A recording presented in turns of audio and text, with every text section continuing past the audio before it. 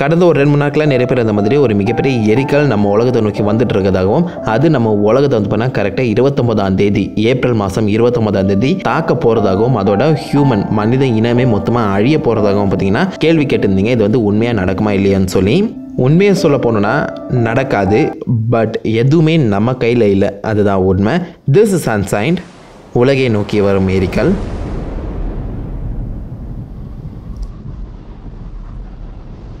எந்த எரிக்கல் எப்போ எப்படி கண்டுபிடிச்சாங்க எதனால இந்த மாதிரி நம்ம உலகத்தை நோக்கி அது வந்து வருதுன்னு சொல்றாங்க. இதெல்லாம் நம்ம தப்பிப்போமாங்கிற ஏகப்பட்ட கேள்விகள் உங்களுக்கு இருக்கலாம். முதல்ல நம்ம அந்த எரிக்கல் அந்த விண்கலை பத்தி பேசுவோம். விண்கல் எரிக்கல் அதாவது ஆஸ்ட்ராய்டு அண்ட் மீட்டியர் இது ரெண்டுத்துக்கும் பார்த்தீங்கன்னா நிறைய டிஃப்ரென்ஸ் இருக்கு. ஸோ மீட்டியர்னு சொல்லும்போது ரொம்பவே சின்ன கல் அதுதான் பார்த்தீங்கன்னா நம்ம பூமியை வந்து தாக்கும். நிறைய டைம் வந்து தாக்கியிருக்கு. தாக்குறப்ப வந்து பார்த்தீங்கன்னா ஏகப்பட்ட டைம் ரெக்கார்டும் செய்யப்பட்டு இருக்கு. மோஸ்ட் ஆஃப் த டைம் அதோட அளவு வந்து பார்த்தீங்கன்னா கிட்டத்தட்ட அஞ்சுலேருந்து ஆறு மீட்டருக்குள்ள தான் இருக்கும். அதுவும் கிட்டத்தட்ட முக்கால்வாசி வந்து பார்த்தீங்கன்னா எர்த் நம்ம பூமி நோக்கி வரும்போதே விண்வெளியை நம்ம அட்மாஸ்பியரில் பட்டு பாதி எரிஞ்சு போயிடும். ஸோ சேஃபாக ஒரு யாருக்குமே ஹர்ட் பண்ணாத அளவுக்கு தான் வந்து பார்த்தீங்கன்னா அந்த எரிக்கல் நம்ம பூமியை வந்து தாக்கும். ஸோ அது இப்போதைக்கு தான் இதுக்கு முன்னாடி மிக மிக மிகப்பெரிய எரிக்கல்லாம் வந்து பார்த்தீங்கன்னா நம்ம பூமியை தாக்கியிருக்கு. எல்லாருக்குமே தெரிஞ்சிருக்கும் அறுபத்தஞ்சு மில்லியன் வருஷங்களுக்கு முன்னாடி டைனோசஸ் இந்த கிரிட்டேஷியஸ் ஈவெண்ட் அப்படின்னு சொல்லுவாங்க.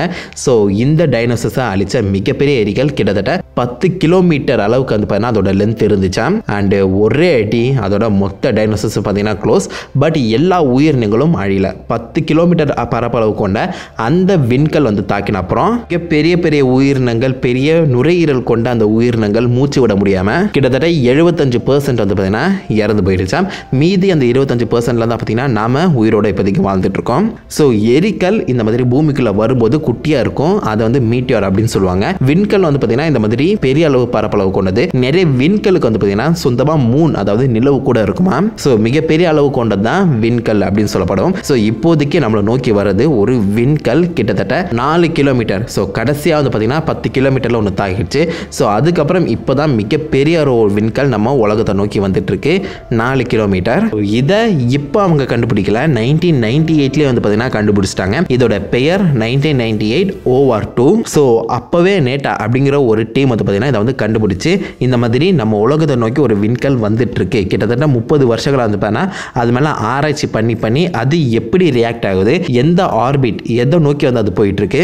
நம்ம உலகத்தை நோக்கி வருமா இல்லையா? அப்படின்னு சொல்லி பார்த்தீங்கன்னா கணக்கு எடுத்துகிட்டு இருக்காங்க. ஸோ இப்போ அவங்க கிட்ட வந்து பார்த்தீங்கன்னா கிட்டத்தட்ட ரெண்டாயிரத்தி நூற்றி தொண்ணூற்றி ஏழாவது வருஷம் வரைக்கும் அதோட பாதை எப்படி இருக்கும் அதை எதை நோக்கி போயிட்டு இருக்குங்கிற கணக்கு வந்து பார்த்தீங்கன்னா கிளியர் அண்ட் கட்டாக இருக்கேன் ஸோ அதன்படி இந்த விண்கல் இப்போ நம்ம பூமி நம்ம உலகத்தை வந்து பார்த்தீங்கன்னா வெறும் அறுபத்தி நாலு லட்சம் கிலோமீட்டர் தூரத்தில் கடந்து போக போகுது. ஸோ அறுபத்தி நாலு லட்சம் கிலோமீட்டர் தூரங்கிறது ரொம்ப தூரம் தானே? ஸோ அது நம்மளை ஒன்றும் பண்ணாது. அது வந்து பெருசாக ஆபத்து இல்லை அப்படின்னு நீங்கள் வந்து நினைப்பீங்க.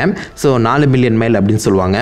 உண்மைதான் அதனால எந்த ஒரு ஆபத்தும் இல்லை பட் அது வந்து மிக பெரிய தூரம்லாம் கிடையாது. உண்மையிலேயே ரொம்ப ரொம்ப ரொம்பவே கம்மி தூரம். ஸோ விண்வெளியில் வந்து பார்த்தீங்கன்னா எல்லாமே மிக பிரம்மாண்டமாகவும் மிக பெருசாகவும் இருக்கும்.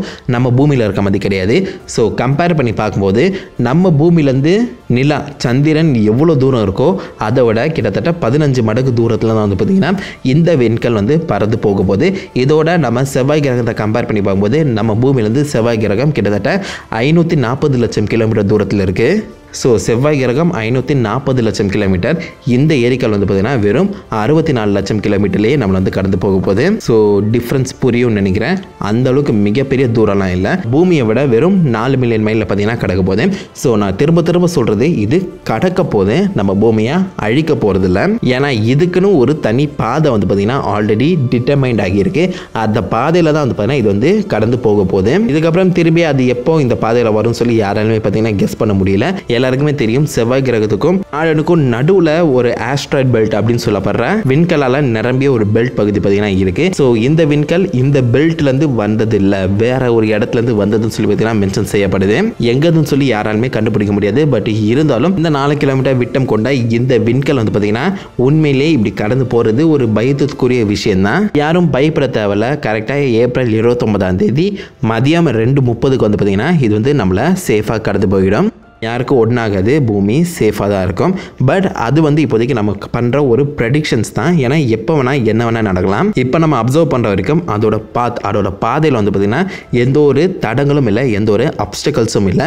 சப்போஸ் வேற யாராவது விண்கல் நம்மளே அறியாமல் லைட்டை விட வேகமாக வந்து அந்த விண்கலோட பாதையில் வந்து ஒரு இடையூறு கொடுக்குமானால் அதோட கிராவிட்டியை வந்து பார்த்திங்கன்னா ஒரு ஸ்லிங் ஷட்டாக யூஸ் பண்ணி நம்ம பூமியை நோக்கி அது வரத்துக்கான வாய்ப்புகளும் இருக்குது பட் இது எல்லாமே வந்து பார்த்திங்கன்னா ஹைப்பட்டதிக்கல் தான். இப்படி நடக்குது பண்ணுறதுக்கான வாய்ப்புகள் நம்மளை பொறுத்த வரைக்கும் நம்ம கிட்ட இருக்க அந்த டெக்னாலஜியை யூஸ் பண்ணி பார்க்கும்போது சாத்தியக்கூறுகள் இல்லை.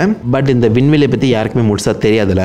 அதுக்காக தான் இதை வந்து நான் கண்டிப்பாக மென்ஷன் பண்ணி ஆகணும்னு நினச்சேன். இதை தொடர்ந்து சப்போஸ் அந்த மாதிரி ஒரு விண்கால் நம்ம பூமியை வந்து அடிக்குதுன்னே வச்சுக்கோங்களேன். அப்போ என்ன நடக்குங்கிற கேள்வி கண்டிப்பாக உங்களுக்கு இருக்கும். பத்து கிலோமீட்டர் பரப்பளவு கொண்ட அந்த விண்கல் அடிக்கும்போது வெறும் எழுபத்தஞ்சு பர்சன்ட் தான் பார்த்தீங்கன்னா அழிந்தது. பட் அதை விட மிக வேகமாக இந்த கல் வந்து பார்த்தீங்கன்னா வருது. ஸோ பத்து கிலோமீட்டர் அடிக்கும்போது என்ன அளவு ஃபோர்ஸ் கிரியேட் ஆகிச்சோ அதை விட ரெண்டு மடங்கு ஃபோர்ஸ் வந்து பார்த்தீங்கன்னா இந்த கல் அடிக்கும்போது வந்து கிரியேட் ஆகுமா கிட்டத்தட்ட பூமியோட கோருக்கே போகும் அப்படின்னு சொல்லி பார்த்தீங்கன்னா பேசிகிட்டு இருக்காங்க. ஸோ அதனால் ஒரு மிகப்பெரிய வெடிப்பு வந்து நடக்கும். உண்மை. நம்ம பூமியை வந்து பார்த்தீங்கன்னா கிட்டத்தட்ட ஹிரோஷிமா நாகசாக்கியில் போட்ட அந்த அணுகுண்டை விட ஒரு கோடி மடங்கு அதிகமான வெடிப்பை வந்து பார்த்தீங்கன்னா ஏற்குமாம் ஸோ அதனால் கண்டிப்பாக நம்ம மனித இனமே அழியறதுக்கான வாய்ப்புகளும் இருக்குது பட் என்னதான் மனித இனம் அழிஞ்சாலும் ஏதாவது ஒரு உயிரினம் எல்லாத்தையும் தாண்டி திருப்பி மிகப்பெரிய ஒரு எவல்யூஷனுக்கு உள்ளாக்கப்படும். ஏன்னா ஒவ்வொரு முறையும் மிகப்பெரிய மாபெரும் பேரழிவில் நம்ம உலகத்தை ஆண்டதாக சொல்லப்படுற அந்த உயிரினம் தான் பார்த்தீங்கன்னா அழியுமாம் இப்போதைக்கு இந்த உலகத்தை ஆள்றதா சொல்லப்படுறது நம்ம மனித இனம் பட் இப்போ கிடைச்சிருக்க இன்ஃபர்மேஷன் படி டோன்ட் வரி நல்லதே நடக்கும். அந்த விண்கல் நம்மளை கடந்து சேஃபாக போயிடும். நாமளும் சேஃபாக இருப்போம். This is unsigned signing off